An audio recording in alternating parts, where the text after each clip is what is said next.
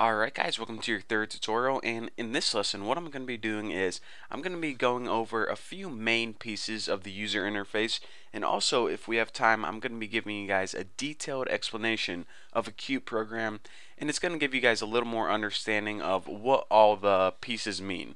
So the first thing I want to do is I want to go over all of these little icons on the left hand side.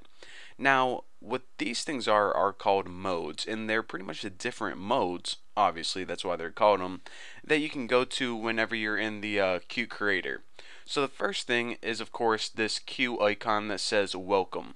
Now, this is the first thing that pops up whenever you open the program, and it's pretty much just the home screen. It gives all, you know, a couple examples, um, the news, like the latest news on the right hand side, um, let's see, you can open projects, create projects. It's pretty much a typical home home screen. Nothing really uh, that important here. We're not going to be spending a lot of time here. Now under that we have this little, I don't know, kind of looks like a piece of paper, the edit icon. Now the edit icon is pretty much a text editor and it's where we're going to be spending most of the time writing the C++ code. Now you can also, if you go ahead and uh, click edit with another file selected, and not a C++ file.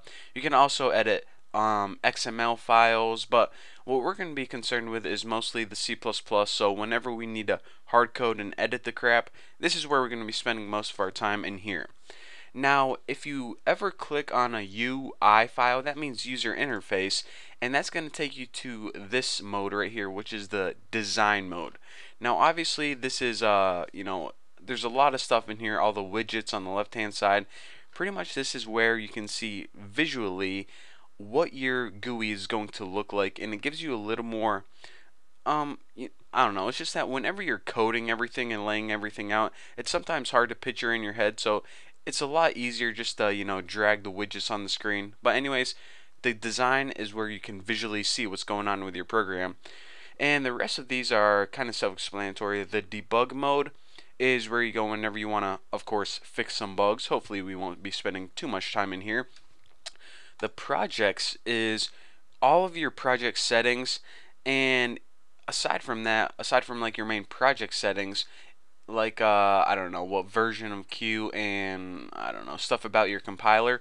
You can also change your editor settings if you want to. So in order to do that, just go ahead to editor settings and go to custom and you can you know if you don't like the way your editor looks you can do that. But I like mine at the default so I'm not going to mess with that.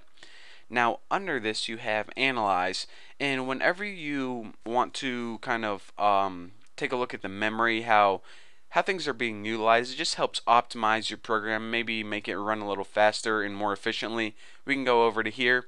And last but not least, we have the help section. Now, Qt actually has a really awesome help section, and basically, you guys already know what help is. It has all the documentation. Uh, I think it has some frequently asked questions somewhere. Yep, right there. Um, you know, all the glossary and all the technical stuff as well.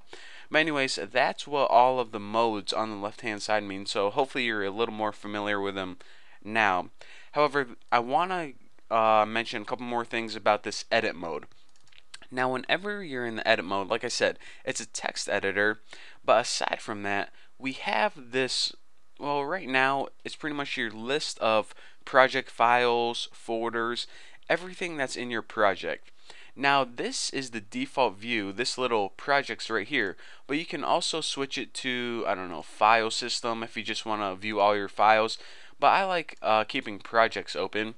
But another cool thing that you can do is if you're like, oh, I, I can't decide if I want to view it like this or you know maybe view the file system what you can do is you can actually click this icon called split and whenever you do that it gives you two of them pretty much splits the screen so you can have the top one as this little hierarchy of folders and files and the bottom one of all your individual files. So, you know, that's just a neat little tip. And, well, that's it. And again, this is probably uh, pretty self-explanatory, but if you ever want to get rid of this, then you can just go ahead and close one and then close the other. But I am probably just gonna uh, keep this one open because it's easy for you guys to see when watching these tutorials the hierarchy of where all my files are in relationship to my folders. So, um, everything else actually about the user interface, we're just actually going to cover that as we need them because if I go ahead and talk about all the different pieces of all the, di the different modes, we aren't even there yet learning it. So I think it's better to cover it as we get to it. It'll make more sense that way. So in the next tutorial, we are finally, you know, going to be done covering the user interface and we're going to be start typing some code. I thought I was going to have time in this tutorial, but I don't. So that's what we're going to be doing in the next tutorial. Thank you guys for watching. Don't forget to subscribe.